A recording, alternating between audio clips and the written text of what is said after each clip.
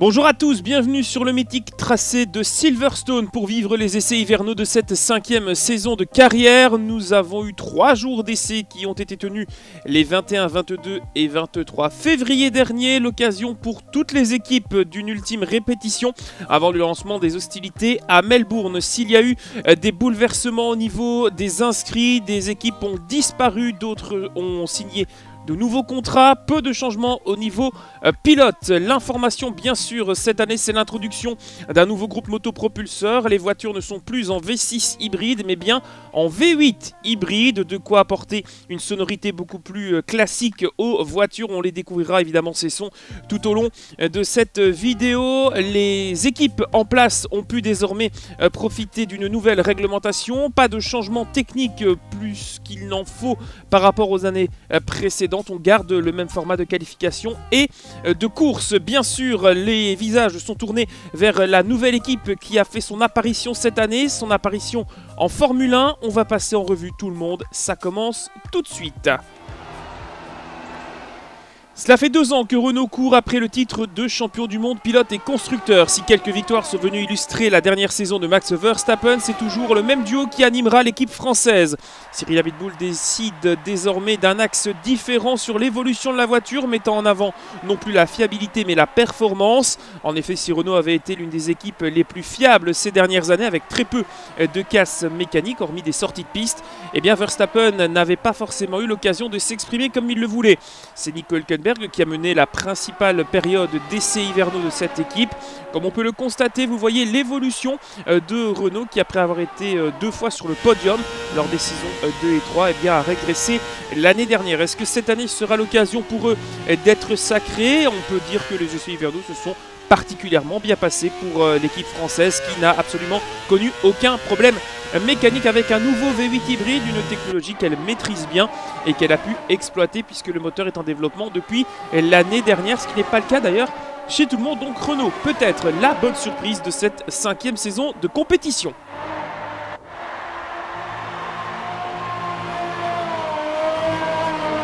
Si la première année de collaboration entre Ford et Haas s'est quasiment soldée par un zéro pointé, cette année, les choses ont changé au sein de l'équipe de Gene Haas puisque c'est désormais euh, Ford qui détient le plus grand pourcentage de capital à 53%. Cela change beaucoup de choses dans la structure de l'équipe, dans ses dirigeants également. Côté pilote, on conserve le duo de Français, Romain Grosjean et Pierre Gasly, qui seront euh, de nouveaux partenaires dans une deuxième année qui s'annonce peut-être un petit peu moins sombre que les précédentes. On a une dégringolade de ces quatre dernières années de Haas, quatrième euh, il y a quelques années, pour terminer avec deux petits points acquis avec grande difficulté l'année dernière. Ce passage au moteur V8 hybride n'aura peut-être pas de mauvaises conséquences, bien au contraire, on espère chez Haas pouvoir régulièrement inscrire des points à la réalité tout autre. De nombreux problèmes mécaniques lors de ces trois jours d'essai de pré-saison ont montré une Haas très très souvent en deçà du rythme de ses principales concurrentes. Bref, une année qui s'annonce comme un nouveau fardeau pour l'équipe américaine que l'on devrait voir rarement à l'image. En parlant de continuité du côté de chez Haas, McLaren souhaite également poursuivre son partenariat avec Mercedes dans le bon sens. Une saison dernière qui avait été particulièrement réussie pour Lando Norris et Carlos Sainz. L'Espagnol et le pilote britannique continueront de défendre les couleurs de la structure de Woking, avec comme objectif cette année de rentrer constamment dans le top 10 et en Q3. Ils ont terminé très très loin lors de la dernière saison, mais un réveil lors des derniers Grands Prix a montré tout le potentiel de la monoplace. Avec peu de changements de réglementation depuis l'année dernière, McLaren pourrait être une nouvelle fois la bonne surprise après deux années de passage à vide. Bref, s'ils continuent sur leur lancée, il faudrait peut-être compter avec eux pour les points régulièrement et pourquoi pas pour un podium. En évoquant la continuité avec McLaren, on passe à Alfa Romeo Racing qui se dote de nouveaux sponsors pour cette année. Si la voiture est un peu moins belle que l'année dernière, elle est surtout beaucoup plus visible avec ce chrome qui désormais recouvre la partie moteur. On accueille trois nouveaux sponsors du côté de l'équipe italienne, une banque, une boisson euh, alcoolisée, belge d'ailleurs, et euh, bien d'autres partenaires. L'objectif est bien sûr de préparer euh, l'avenir pour ce qui semble être la dernière saison en Formule 1 d'un Kimi Raikkonen qui n'est toujours pas décidé à raccrocher ses gants. Désormais cinquième avec 146 points l'année dernière. On espère qu'Alfa Romeo va pouvoir garder le contact avec des équipes de tête qui vont certes se resserrer mais la R&D étant désormais bien restreinte, on voit mal Alfa Romeo revenir aux avant-postes. Lucas Weber avait fait quelques étincelles lors de la saison dernière. Va-t-on assister à de nouveaux coups d'éclat de la part de la bonne place rouge et blanche? Eh on aura déjà un élément de réponse à partir de Melbourne. Si Red Bull Racing a perdu un pilote champion du monde cette année, c'est le retour d'un duo que l'on connaît bien sur les grilles de départ du championnat du monde de Formule 1 puisque les anciens frères ennemis se retrouvent. Valtteri Bottas rejoint Lewis Hamilton chez Red Bull Honda. C'est sans doute le transfert le plus important avec celui euh, du champion du monde qui a donc quitté après deux titres l'équipe euh, britannique. Il est vrai que Red Bull conserve Hamilton qui n'a vraiment pas eu de chance lors des deux dernières saisons de nombreux manques de fiabilité, de casse mécanique, d'accrochage auront terni les résultats du Britannique qui cette année veut mettre toutes les chances de son côté.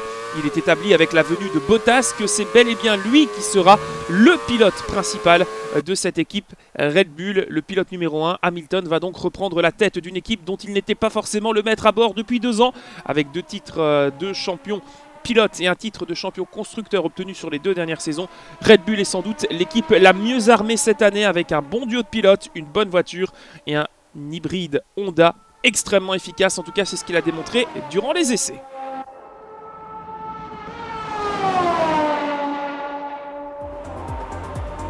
Devenu AlphaTauri l'année dernière, on continue à croire en la jeunesse avec Daniel Gviat et Alexander Albon qui défendront une nouvelle fois les couleurs, c'est le cas de le dire, de l'équipe AlphaTauri qui est passée au chromé euh, désormais. Euh, changement radical de livret après la transition Toro Rosso AlphaTauri opérée il y a deux ans.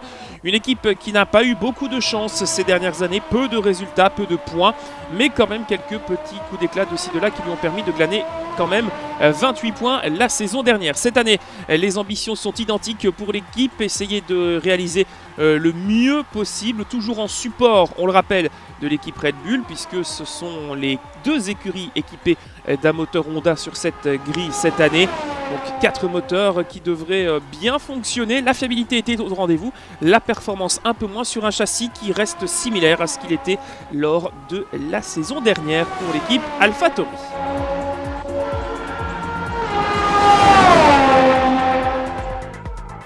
Et si cette année était celle de la renaissance pour l'étoile qui est Mercedes, bien ternie depuis quelques saisons, les flèches d'argent n'ont plus été aux avant-postes depuis leur domination il y a quelques années.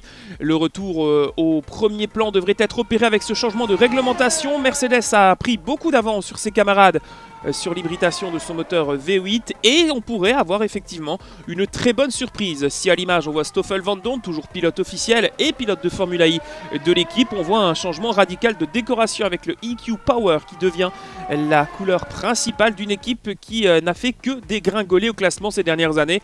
Est-ce le renouveau? Une victoire attendue peut-être pour Butler, voire pour son nouvel équipier Lance Stroll qui depuis l'année dernière eh n'a pas eu, un peu à l'image d'Hamilton, la chance de défendre euh, eh bien, ses, capacités avec une voiture trop souvent peu fiable. Que serait un championnat du monde de Formule 1 sans la Scuderia Ferrari qui continue avec Charles Leclerc et Sébastien Vettel?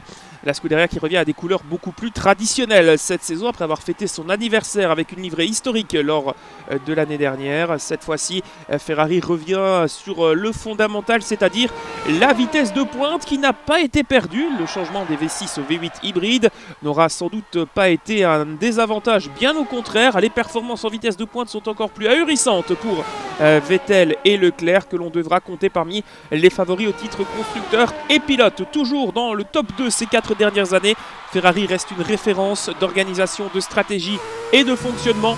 La fiabilité qu'il avait fait défaut en début de saison lors des 5 championnats précédents pourrait peut-être cette fois-ci s'envoler, de quoi en fin de saison faire compter et pencher dans la balance en leur faveur et espérer peut-être récupérer le titre constructeur et pilote qu'ils ont perdu l'année dernière au profit de Red Bull Honda.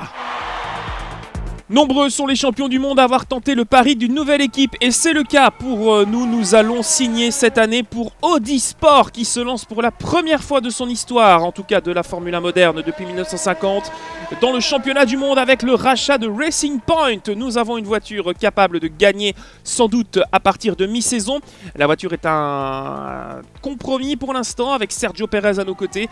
Euh, ça n'a pas été la grande amitié avec le Mexicain mais désormais membre de la même équipe, nous devrons nous entendre C'est un énorme challenge que l'on relève avec une voiture qui est sur le papier considérée comme la troisième meilleure monoplace. Un grand manque de fiabilité, une instabilité au freinage et une voiture qui ne supporte pas les changements de cap à haute vitesse. Bref, sur Silverstone, les essais n'ont pas été une grande réussite pour Audi qui se lance dans ce championnat du monde avec la volonté rapide d'être championne du monde, peut-être déjà dès cette année. En tout cas, le challenge sera suivi de près et cette arrivée donne un vent de fraîcheur sur le peloton qui en avait vraiment bien besoin. Et pour conclure euh, ce nouveau championnat, cette présentation se termine par Williams qui change de motoriste. Bye bye Mercedes, bonjour Audi qui sera également constructeur et euh, fournisseur de moteurs clients. Alors on n'en a pas parlé avec euh, la présentation de l'équipe officielle, mais Audi et l'hybridation c'est une grande histoire d'amour. On se rappelle des victoires aux 24 heures du Mans, même avec des moteurs diesel. Donc ce V8 hybride tombe à pic et la réglementation était un argument parfait pour l'arrivée de la marque. Désormais, Williams pourra compter sur un développement euh, plus accru et plus performant, de quoi les faire quitter sans doute le fond de tableau d'ici la fin de cette euh, cinquième saison de carrière qui euh, s'offre à nous comme eh bien, un ultime challenge avec un nouveau constructeur, une voiture totalement différente de ce qu'on avait l'année dernière. Et Williams pourrait peut-être être le support dont Audi a besoin pour collecter le maximum de données et être l'équipe référence assez rapidement. Vous avez désormais toutes les informations nécessaires pour suivre cette cinquième saison de carrière. Je compte sur vous pour être présent dès Melbourne, la première manche d'un championnat qui s'annonce comme un combat des chefs. Beaucoup d'équipes sont à égalité au niveau performance et ça risque d'être du tout tout grand spectacle. À la prochaine. Salut